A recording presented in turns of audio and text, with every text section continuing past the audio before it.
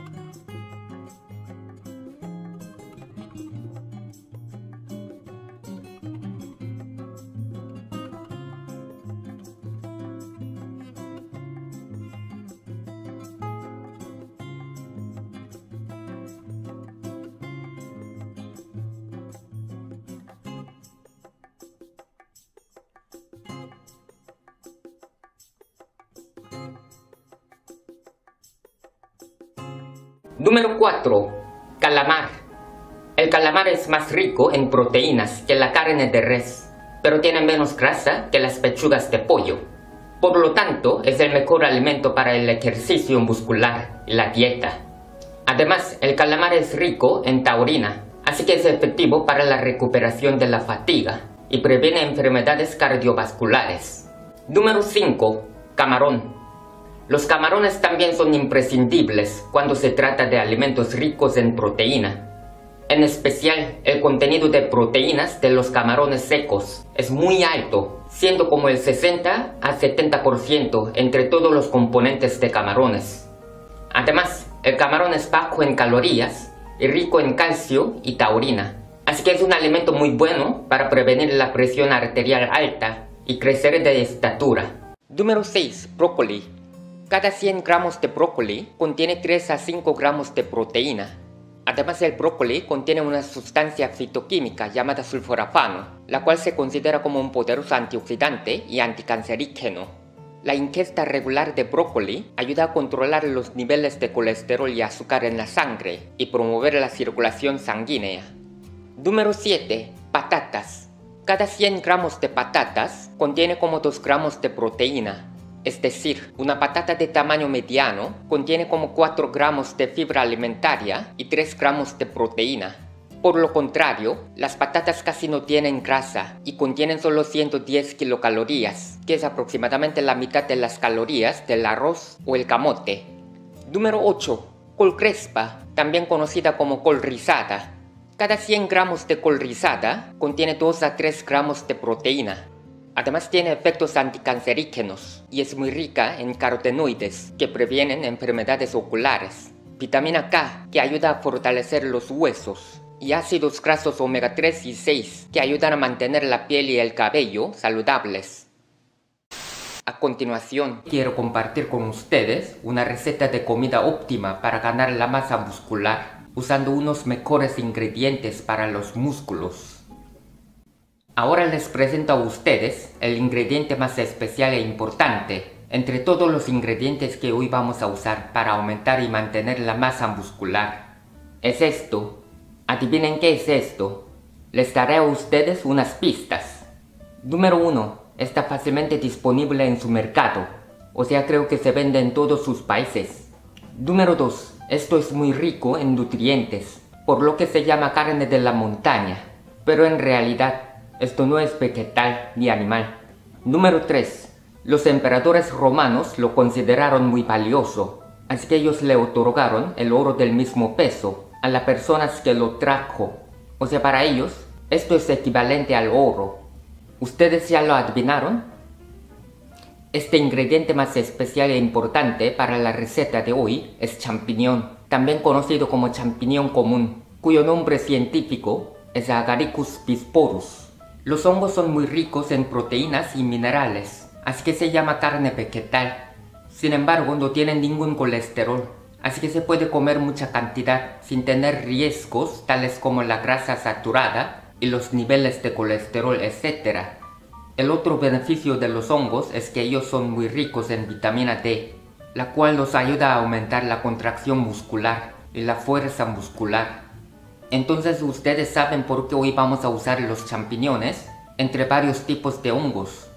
La razón por la que los usamos es porque ellos son más ricos en proteínas en comparación con otros tipos de hongos. Son uno de los hongos más ricos en proteínas. Además son muy ricos en un antioxidante llamado polifenol, así que tienen más capacidad antioxidante entre todos los tipos de hongos. Entonces desde ahora les informo los ingredientes que hoy vamos a usar. Todos son alimentos que contienen mucha proteína. Champiñones que contienen más proteína en comparación con otros tipos de hongos. Huevos que se llaman el alimento completo. Tofu que es un alimento representativo de la proteína vegetal. Pero si ustedes no pueden comprarlo fácilmente en su mercado, pueden omitirlo o sustituirlo por frijoles. Espinacas, que es una de las verduras más ricas en proteína y un poco de sal. Estos son todos los ingredientes para la receta de hoy. Prácticamente muestran una combinación perfecta de las proteínas animales y vegetales. Usándolos, hoy vamos a cocinar champiñones rellenos con huevos y espinaca. Desde ahora les enseño cómo prepararlos. En primer lugar, limpiamos bien los champiñones y le quitamos el pie para dejarle solo el sombrero. Luego batimos bien los huevos en un cuenco. En mi caso voy a usar tres huevos. Luego picamos finamente el tofu y lo agregamos a los huevos bien batidos. Luego cortamos las espinacas en trozos pequeños y también las agregamos a los huevos batidos. Luego agregamos un poco de sal y mezclamos bien todos los ingredientes con los huevos batidos. Luego rellenamos los champiñones con la mezcla ya preparada y los colocamos en una vaporera.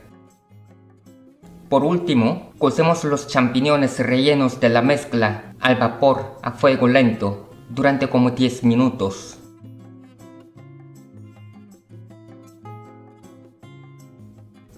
Voy a probarlos.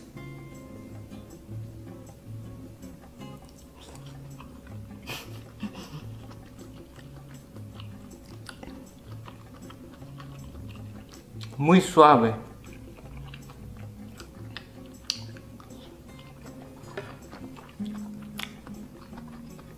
Y está muy jugoso. El aroma de las espinacas armoniza muy bien con la textura suave de los champiñones y los huevos cocidos. Les recomiendo esta receta a ustedes. Es una comida hecha de los ingredientes óptimos para ganar y mantener la masa muscular. Si ustedes están hartos de la pechuga de pollo, prueben esta nueva receta. Bueno, hoy hasta aquí. Si les ayudó este video, por favor pulsen el botón de me gusta, compartan este video en redes sociales y suscríbanse a nuestro canal también. Muchas gracias por ver este video. Hasta luego, chao.